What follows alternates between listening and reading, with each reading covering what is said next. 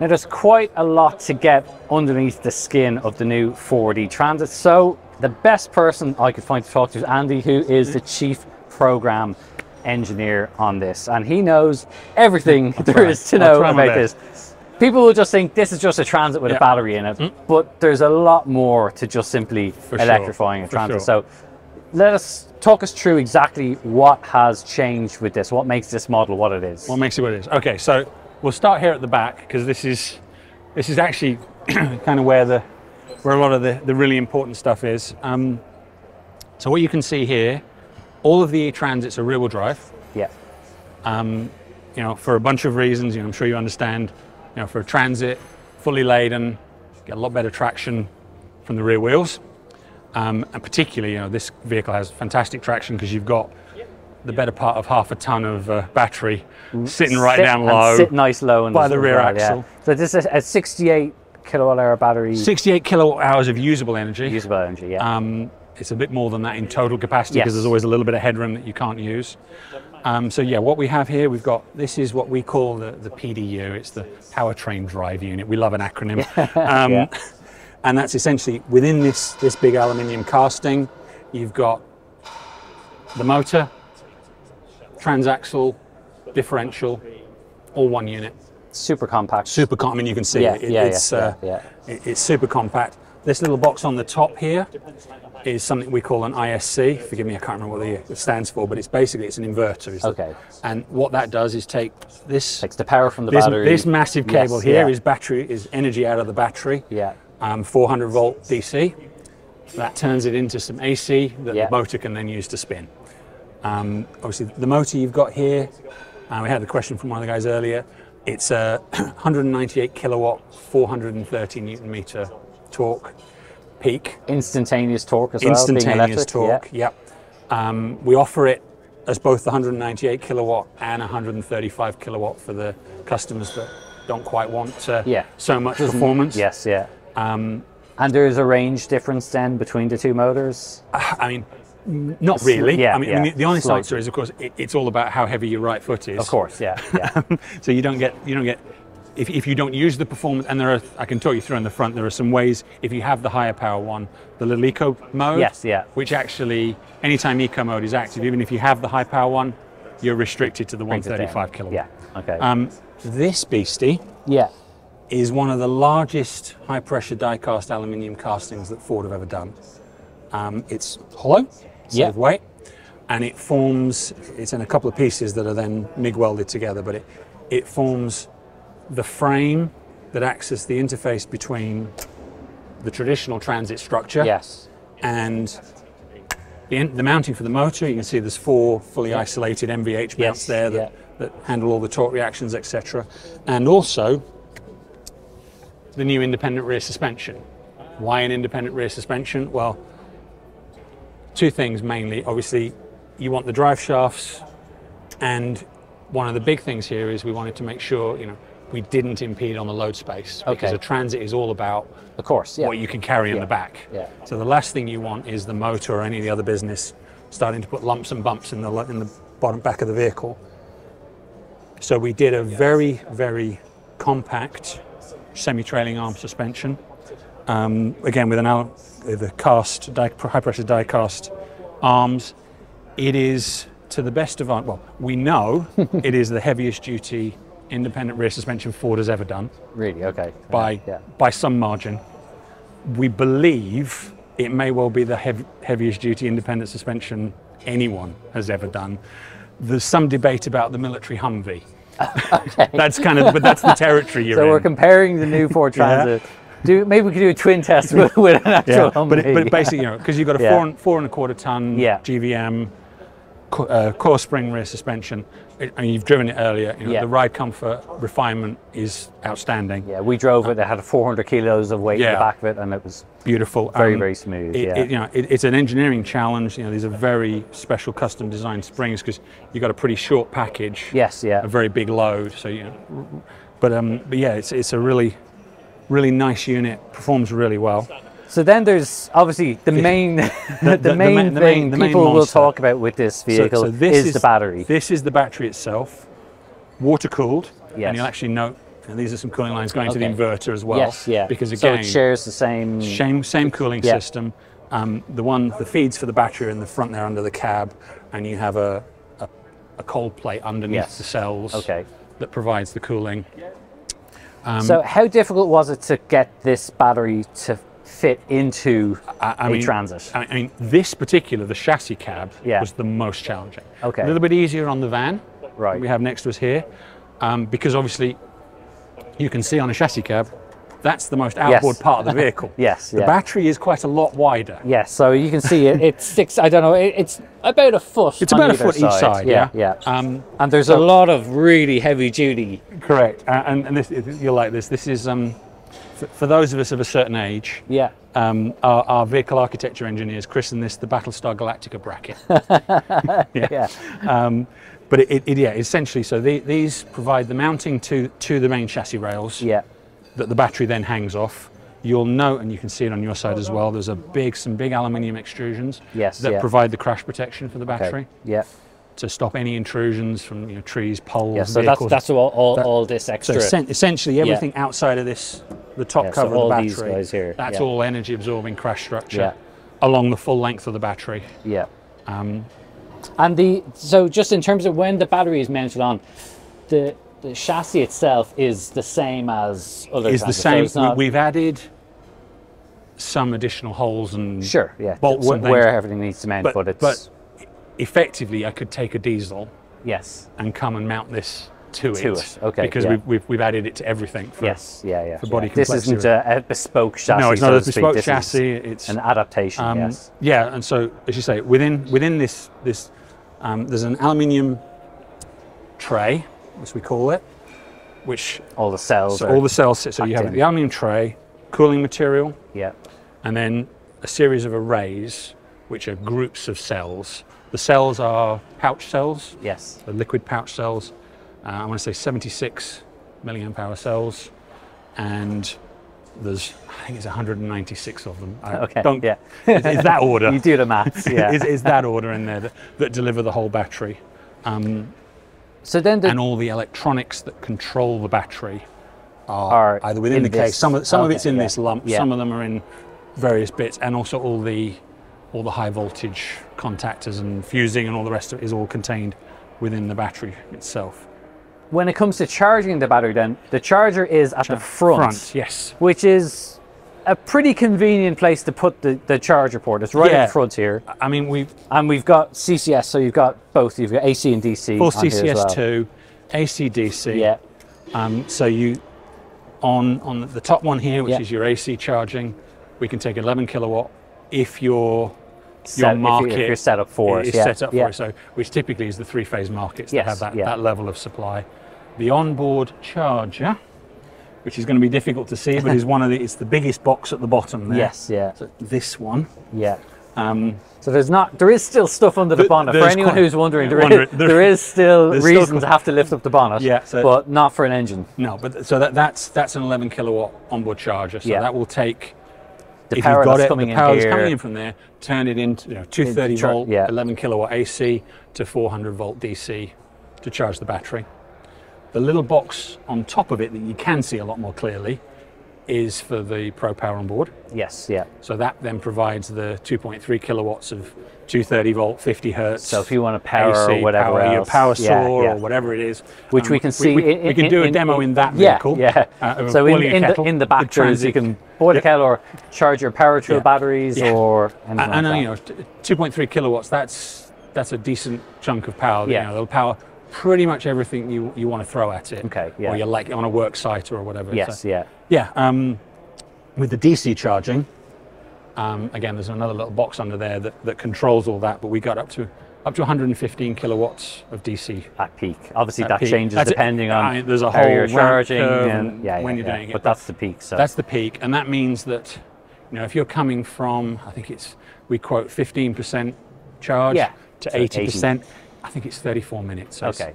half an hour or so so. if you can find somewhere with a decent charge, that- that's Yeah. quick enough. That's quick enough. Pop You- in, get your coffee, do your bit of paperwork, And or check your give you- phone or whatever, and then you're you're good to I- go mean, again. In terms of the, the, the you know the way we sized everything, obviously the AC charging is one of the goals here, and one, one of the reasons the Yeah. battery is the size it is, and the charger is what we've got. Way up.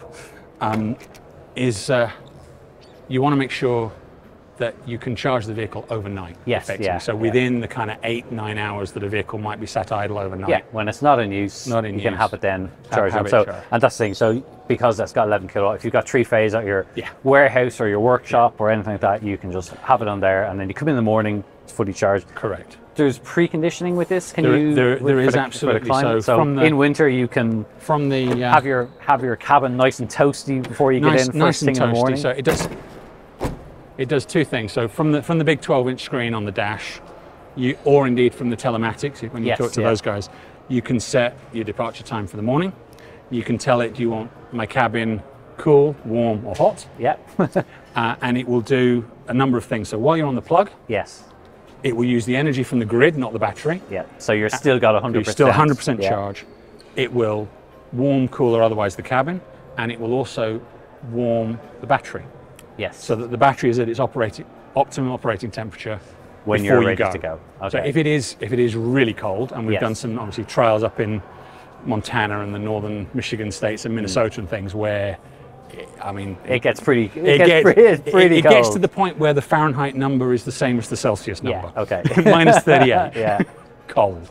Um, and in those kind of conditions, just keeping the battery or getting the battery up to temperature can take an enormous amount of energy. Okay. So preconditioning becomes hugely important. So it's not just about having a toasty, No, no, toasty driver it's seat. much- it's also yeah, and that's something as well that people, particularly depending on where where they're working, Yeah. can have a massive difference Yeah, in I mean, terms of their honestly, here driving in, here range in that Europe, day you know, then. Scotland. Yeah. Anyway, you know, if you, any tip, I mean, really, in, from the battery point of view, once you get below, certainly below freezing, Yeah. kind of below about five degrees, you start to see that there's a real benefit to preconditioning the battery and Yeah. warming it up off the grid. Yeah, yeah. Rather than using the, the battery's energy to warm itself up. Yeah. Which it'll do. Yeah, of course. Yeah, But, yeah, um, but yeah, But you're giving yourself a head start. correct, And correct. you're and this is I suppose efficiency is a big thing Hmm. with electric vehicles that that people probably maybe need to get their heads around that you can have this car already doing some work Hmm.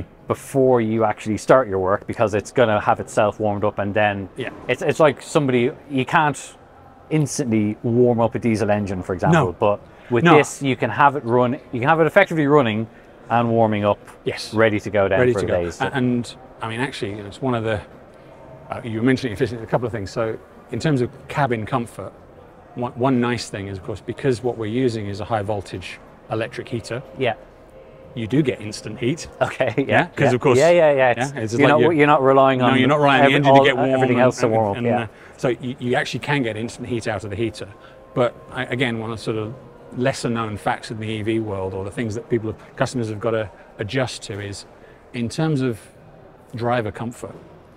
A much more efficient way to achieve a comfortable condition for the driver in a cold day is the heated seats, yes. rather than heating the air in the Yeah, cabin. of course. Yeah. Yeah, so actually heated warm, seats Warm the driver warm up. the driver, than not warm not all up, the space around you know, a huge If you've got one of these up. with no bulkhead in it, Yeah, I mean, yeah, yeah. wow, that's It's- a lot of yeah, yeah, cubic yeah. meters of air you're trying to warm Yeah. up. So, and, and same with um, demisting your window. Yes. Yeah. The quick clear heated electric windscreen Yeah. is a much more efficient Yes, way yeah. than again blowing quantities and of warm air. it's one of the great things about preconditioning as well. Is the fact that even with normal electric cars, the fact Yeah. that you get to be that bit more smug when you watch Yes. your neighbours in the morning, in the Scraping the ice morning, off it, scraping yeah. it up, and you're just sitting there having your having your tea or your coffee in the morning.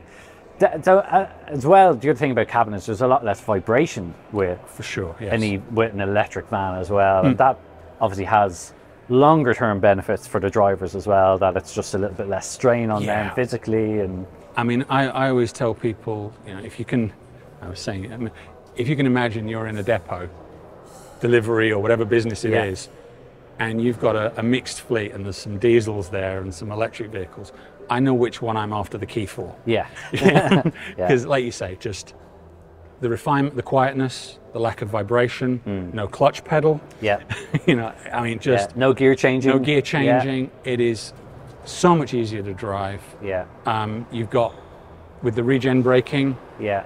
You know, if depending on how you want to drive it, you and you set it in L mode or, or use the use the brake pedal to increase the regen. You can almost drive it with one foot. You know, you, you Yeah. So with that, the re- that's the one thing that people often talk about with regular EV Yeah. cars is one pedal braking, or regenerative braking. For those that don't know, what can this van Right. do in terms of how it recovers energy when you're out? Yeah. Like, will it sail or will it Right, so always have it- a braking force It, it's uh, it's a pretty smart system actually. That so what happens is if, if you're in D, the Yeah. drive on the on the transmission, and you Which maybe we can show people Yeah, the can show- inside show the- because it's, it's a little bit easier then to, Mm. to see how it's all set up. yeah. So I don't know if you can. So you can see here if you're in D, on the little rotary shifter, then and you're and you're driving along, and you lift off the throttle, you will get some regen braking. How much you get is where the cleverness kicks in. So the vehicle knows the grade load, so how steep the hill you're coming up or down is. Obviously, it knows what speed you're doing, and it actually is a little bit, you know, so and it and it knows how you've been driving. Learns a bit about your driving style, so and it will give you a level of regen intended to give you the maximum efficiency. So very close to sailing, basically, fairly fairly minimal um, level of regen. If you are in L mode, which is this button in the middle, the transmission and the vehicle behaves much more like you would on a, a classic torque converter with an ICE engine Yes, yeah. with L, as Yeah. in a low gear. Yeah. So what you get is a lot of engine braking, you know, Hmm. but regen, re, and you actually get it, it's set to provide at any given vehicle speed, load conditions, the maximum retardation that we can do within the stability limits of the vehicle. So effectively, the most you can get without risk of the back end. Sure, yeah, yeah. go Coming around to meet you. coming around Yeah. to meet you, uh, and plen- more than enough to mean that you have to trigger the brake lights Yes, yeah. right? So, so those are the two extremes. And then the one that's actually, I find it, it's really, because we had a whole debate about, you know, how do you give the customer the option of controlling the level of regen they see? And uh, after much debate, actually, the calibration guys came up with, I think, was a very elegant answer, super intuitive, and it's you use the brake pedal. So you may, you may well have not even noticed when you were driving earlier, but if you lift off and you decide, actually, I want to slow the vehicle down a little bit more, if you tap the brake pedal, you'll get more regen. If you tap it again, Yeah. you'll get more regen again, Okay, yeah. up to the maximum yes, L. yeah. so a couple of two or three little taps on the brake pedal, depending on how fast you're going, and of course, you yeah. get gradually more regen, and it you almost do it without thinking about it because you just oh, I'd like to slow down a bit more. I tap the brake Yes, pedal, yeah, yeah. and the vehicle knows that's what you're trying to achieve. So yeah, And you're then obviously getting Yeah. energy rather than just wasting energy. You're actually getting it back into the battery then as well. So that's and, and uh, but again, you know, we were talking about you know efficiency with EVs and things. One of the bits that, again, it's not. It is obvious, but it's perhaps a little bit counterintuitive. Is you know, people talk a lot about regen braking and one pedal drive and all this kind of stuff. And, and as I say, in L mode, we're pretty close to one pedal. Yeah. It, it you know, it brakes for emergencies. sure, kind yeah, of of course, yeah, yeah. Um, but you don't actually want regen braking. Hmm. You know, in terms of having the maximum efficiency, keeping your range the maximum, what you really want is to coast, sail Yes. as much as Yeah, possible. So, yeah. you know, anticipate, lift off well ahead of that traffic light that's about Yeah, to change yeah, colour yeah, and all yeah, the rest of yeah. It. if you see it's a green light, if it's see- been a green light for a long time, it's probably going to change color. Um, yeah. And we, we, I was telling some guys earlier, we, we did a, with some of the early pre-production units, we did some long distance drives from our test track in Belgium, Lommel. Spent the day, you know, round that, that corner where you change countries, France, okay. Yeah. Belgium, yeah, Holland, they're all right there. And we spent some time driving around. And we had myself and one of the calibrators driving who tended to like to drive, as I was saying, with using the brake pedal only Yeah. when I had to, anticipate as much as Yes, possible, yeah, yeah. coast. And some of our vehicle dynamics guys in the other vehicle who tend to like to use the brake a lot more and, and love to leave it in L mode with the max regen. At the end of the day, we were about 10 to 15% less energy used Okay. than they were. so if you can, yeah. if the traffic conditions allow, yes. you can, you don't want to be using too much regen. Yes. Okay. Obviously, if you're in a lot of steep grades or you're in an inner city environment where it's stop go all the time, Yeah, yeah. There's it's a lot more to relaxing to, use the L mode. Sure. Yeah. And that's then the trade-off between efficiency and Yeah, you know, yeah. driver comfort and Yeah. uh, Yeah. And I guess that's something that people will learn as they use these vans. Surprisingly and- quickly, yeah, actually. Yeah. Yeah, it, and I'm sure you know you drove one earlier. Yeah. You get used to driving it really quickly. Yeah, absolutely. Yeah, It's yeah, just yeah, really easy. yeah. Well, that's great. That's such a great insight into the transit. There is so much to take into account with this. You'll find a full review on it on our website, which is completevan.ie. And don't forget to subscribe to our channel. If you want to know more, you'll follow us on all the usual social channels. Thanks for watching.